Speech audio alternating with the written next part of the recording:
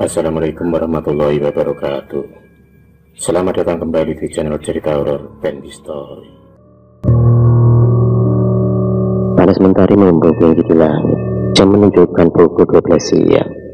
Dewi Surati Gadis cantik yang sedang melamar pekerjaan di perusahaan swasta Terus bersemangat Demi menghidupi keluarganya di kampung. Dia nekat pergi ke kota Dengan harapan ada secerah cahaya terang yang lebih bagus untuk masa depannya.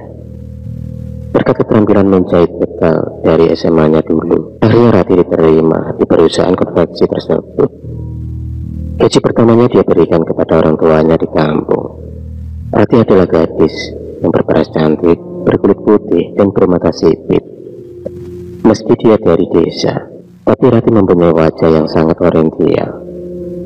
Itu mungkin faktor dari keturunan yang konon di masa penjajahan Nenek Rati sempat menikah dengan tentara Jepang.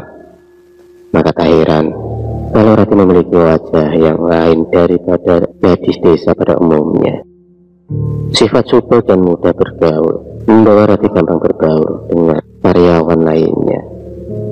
Banyak laki-laki yang terpikat dengan pesonanya. Tak heran, Rati menjadi salah satu idola di tempatnya bekerja. Hingga desas-desus akan kecantikannya pun sampai terdengar juga di telinga Pak Tommy, salah satu HRD di perusahaannya. Pak Tommy adalah laki-laki mata keranjang. Bahkan dia sering memanfaatkan kekuasaannya demi memuaskan nafsunya. Siapa pun akan menjadi mangsanya, asal dia berpenampilan menarik.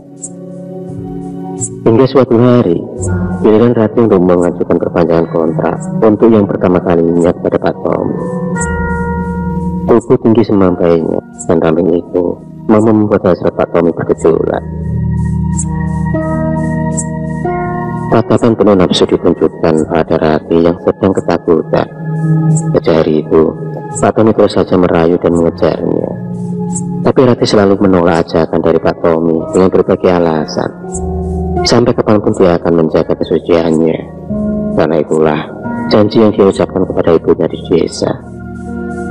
Semakin Rati menolak, maka semakin gencar Pak Tommy mengejar. Karena sikap penolakan Rati itulah sebuah tantangan. Maka akan terasa lebih nikmat bila nantinya berhasil mendapatkannya. Hari demi hari, bulan demi bulan, Rati-Rati masih sangat sulit untuk ditaklukkan, hingga membuat rasa sabar Pak Tommy semakin berat.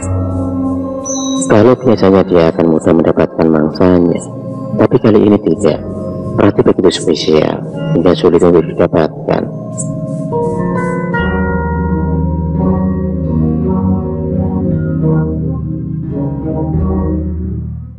Suatu malam, seperti biasanya, Pak Tommy selalu menghabiskan malamnya dengan berboya-boya di tempat diskotik. Tapi kali ini Pak Tom hanya merenung sambil menunggu minuman beralkohol di tangannya. Di pikirannya hanya ada Rati dan Rati. Dia sudah kehabisan cara untuk melakukan gadis itu. Hingga akhirnya ada Pak Anton, teman sealiran sekaligus rekan kerjanya di kantor. Pak Tommy laki-laki berusia 55 tahun itu mengutarakan isi hatinya sambil bersih-bersih kepada Pak Anton. Anton kemudian mengatakan sesuatu di telinga Pak Tommy. Awalnya Pak Tommy menolak. Selain Pak Tommy tak percaya dengan hal mistis, dia juga ingin mendapatkan Ratih dengan suka sama suka. Tapi lagi-lagi, bisikan setan mampu mengalahkan akal sehatnya. Dia menerima ajakan dari Pak Anton untuk pergi ke dukun. Bayang-bayang Ratilah yang membuat Pak Tommy mengambil jalan pintas dan lewat jambi-jambi Mbak Jenggot. Akhirnya Rati pun jatuh ke pelukan Pak Tommy. Di atas kemenyan yang dibakar, Mbak Jenggot kemudian membacakan jambi-jambinya. Mulutnya tak berhenti menyebut nama Dewi Surati. Ada foto hati terpampang di atas meja yang sudah dikaburi bunga setaman. Tak selang beberapa lama kemudian Bajenggot pun keluar dari kamarnya sambil membawa sepotong kain mori yang dibungkus dengan benang berwarna emas. Selama kain ini masih ada di dompetmu, wanita itu akan selalu menjadi milikmu. Kata-kata Mbak Jenggot membuat hati Pak Tommy berbunga-bunga. Setelah memberikan mahar kepada Mbak Jenggot, Pak Tommy pun kemudian berpamitan dan akhirnya waktu itu pun datang. Tiba-tiba saja pintu kantor ada yang mengetuknya.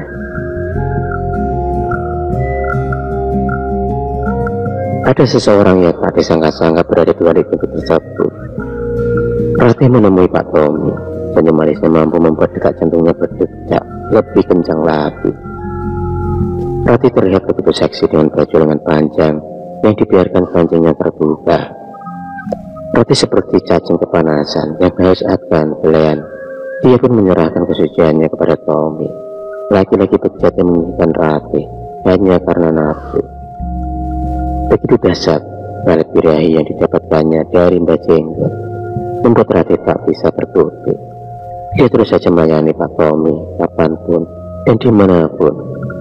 Banyak teman-temannya untuk mengingatkan Ratih, tapi ternyata berarti itu bekerja dengan sempurna hingga membuatnya lupa diri dan lupa akan tanggung jawabnya kepada keluarganya di kampung.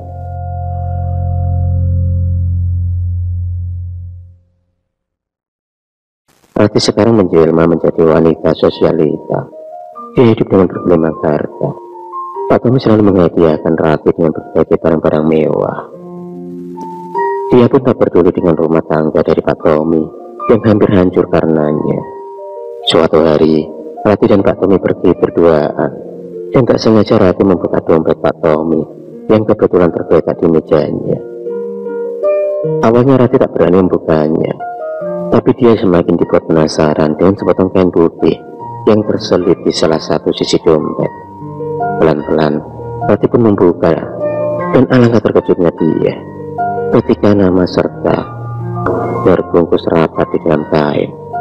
Entah kenapa, tiba-tiba perasaan cintanya pada Pak Tommy hilang setelah membuang bungkusan kain tersebut. Dia tak menyangka, selama ini Pak Tommy sudah memeleknya.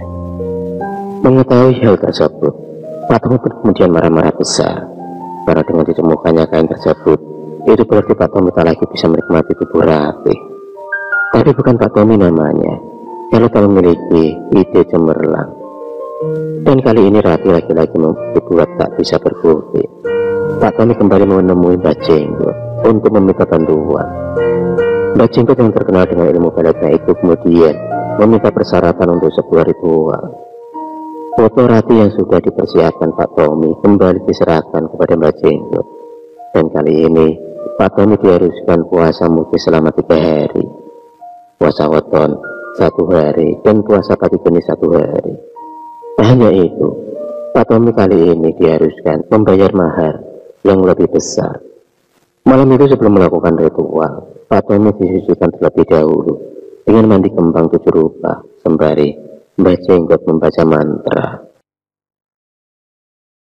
Selesai melakukan ritual tersebut, saat itu juga Mbah Jenggot mulai membakar kayu baru dan kemenyan untuk melakukan ritual manik gajah agar kekuatan pengasihan untuk menundukkan hati dan memikat wanita semakin kuat dan tinggi.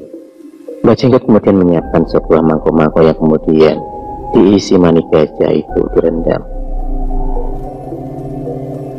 Mbak Jenggot menyiapkan sebuah mangkok yang kemudian manik gajah itu direndam dengan minyak kelapa dicampur sedikit dengan minyak wangi cendana minyak wangi baru minyak wangi beringin dan minyak wangi kamboja.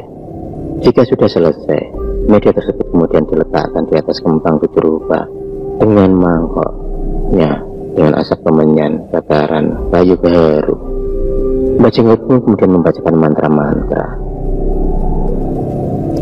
Setelah Mbak Jenggot membacakan mantra, angin tiba-tiba berembus kencang masuk ke dalam ruangan. Dan ternyata sosok korban yang dipanggil Mbak Jenggot masuk ke dalam media balet sehingga nantinya balet manik gajah itu akan memiliki daya pemikat yang lebih tinggi, menundukkan sukma dan pemikat cinta. Setelah ritual selesai dilakukan, Mbak Jenggot kemudian meletakkan minyak manik gajah itu dan lalu diberikan kepada Pak Tommy. Untuk hasil yang maksimal, dia harus melakukan ritual sendiri di rumah selama 21 hari. Setelah sampai di rumah, Pak Tommy segera melaksanakan perintah dari Jenggot.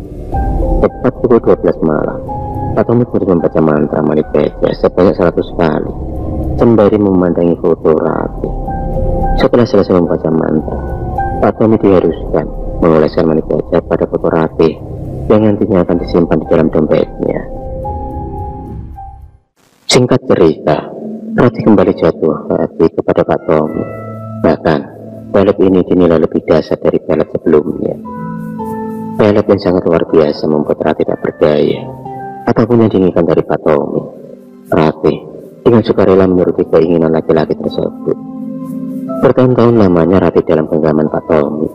Hubungan tanpa ikatan pernikahan itu pun akhirnya terdengar juga di telinga istri Tommy.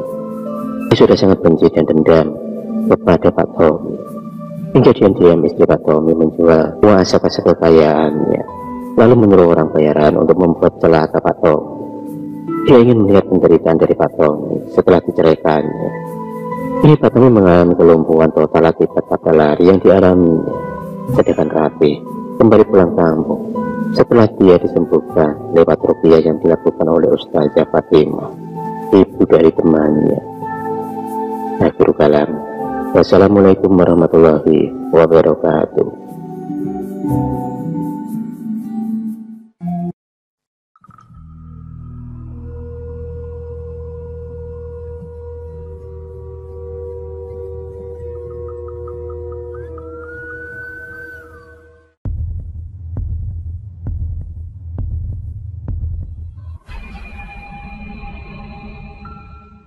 Kasih sudah menonton video cerita bergambar ini.